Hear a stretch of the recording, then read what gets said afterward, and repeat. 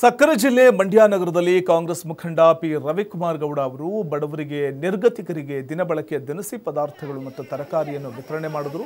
ಸುಮಾರು ಒಂದು ಲಕ್ಷಕ್ಕೂ ಹೆಚ್ಚು ಜನರಿಗೆ ಮಂಡ್ಯ ನಗರದ ಹಲವೆಡೆ ದಿನಸಿ ಹಂಚಿಕೆ ಮಾಡಲಾಯಿತು. ರೈತರಿಂದ ನೇರವಾಗಿ ಖರೀದಿ ಮಾಡಿದ ತರಕಾರಿಯನ್ನು ಹಂಚಿಕೆ ಮಾಡಲಾಯಿತು. ನಗರದಲ್ಲಿ ಕೂಲಿ ಕಾರ್ಮಿಕರು ಹೆಚ್ಚಾಗಿದ್ದು ಒಂದು ಹೊತ್ತಿನ ಊಟಕ್ಕೂ ಕೂಡ ಪರದಾಟ ನಡೆಸುವಂತಹ ಒಂದು ಪರಿಸ್ಥಿತಿ ಇದೆ. ಇದನ್ನು ಮನಗಂಡಂತಹ ರವಿಕುಮಾರ್ ಗೌಡ ಅವರು ಅಲ್ಲಿ ನಿರ್ಗತಿಕರು ಹಾಗೂ ಬಡವರ ನೆರವಿಗೆ ನಿಂತು ದಿನ ಕಾಂಗ್ರೆಸ್ ಮುಖಂಡರು ಅವರಿಗೆ ಬೇಕಾದಂಥ ಅಗತ್ಯ ಸೌಲಭ್ಯಗಳನ್ನು ನೀಡ್ತಾ ಇದ್ದು, ಅಕ್ಕಿ ಅಕ್ಕಿಪಿಕ್ಕಿ ಅಕ್ಕಿ ಪಿಕ್ಕಿ ಜನಾಂಗದವರಿಗೆ ಒಂದಷ್ಟು ಈ ತರಕಾರಿಯ ಒಂದು ವ್ಯವಸ್ಥೆಯನ್ನು, ದಿನಸಿ ವ್ಯವಸ್ಥೆಯನ್ನು ಮಾಡ್ತಾ ಇರುವಂಥದ್ದು. ಮತ್ತು ಇದೇ ವೇಳೆ ಅಕ್ಕಿ, ಬೇಳೆ, ಎಣ್ಣೆ, ತರಕಾರಿ, ಮಾಸ್ಕ್, ಸ್ಯಾನಿಟೈಸರ್ ಮುಂತಾದ ವಸ್ತುಗಳನ್ನು ಕೂಡ ವಿತರಣೆ ಮಾಡುವ ಮೂಲಕ ಮಾನವೀಯತೆಯನ್ನು ಮೆರೆದಿದ್ದಾರೆ. ಮಾಜಿ ಸಚಿವ ಚಲವರಾಯಸ್ವಾಮಿ ಪಿ ರವಿಕುಮಾರ್ ಗೌಡ ಅವರಿಗೆ ಸಾಥನ ಕೊಟ್ಟರು ಕಾಂಗ್ರೆಸ್ ಮುಖಂಡ ಪಿ ರವಿಕುಮಾರ್ ಗೌಡ ಅವರ ಈ ಸಮಾಜ ಸೇವೆ ಕಾರ್ಯಕ್ಕೆ ಎಲ್ಲೆಡೆಯಿಂದ ಪ್ರಶಂಸೆ ವ್ಯಕ್ತವಾಗ್ತಿದೆ.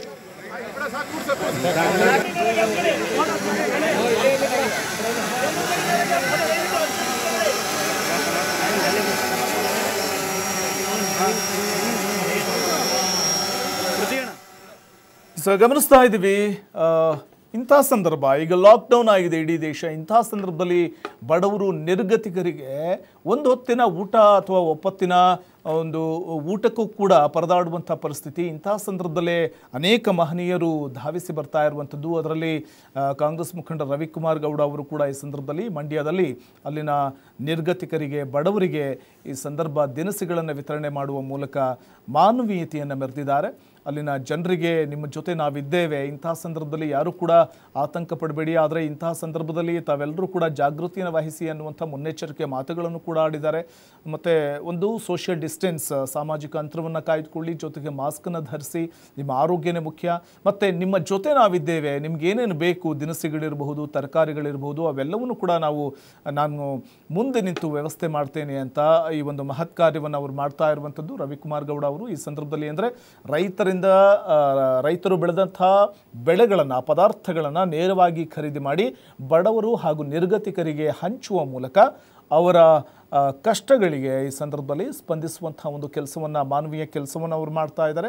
ಹೀಗಾಗಿ ರವಿಕುಮಾರ್ ಗೌಡ ಅವರ ಈ ಒಂದು ಸ್ಪಂದನೆಗೆ ಅಲ್ಲಿನ ಜನ ಕೂಡ ಮೆಚ್ಚುಗೆಯನ್ನು ವ್ಯಕ್ತಪಡಿಸ್ತಾ ಇದ್ದು, ಶ್ಲಾಘಿಸ್ತಾ ಇದ್ದಾರೆ. ನಮ್ಮ ನೆರವಿಗೆ ನಿಂತ ರವಿಕುಮಾರ್ ಗೌಡ ಅವರಿಗೆ ಧನ್ಯವಾದಗಳು ಅಂತ ಹೇಳ್ತಾ ಇದ್ದಾರೆ.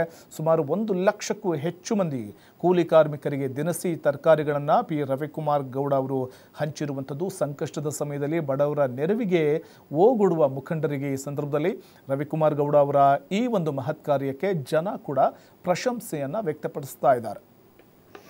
ಈಗ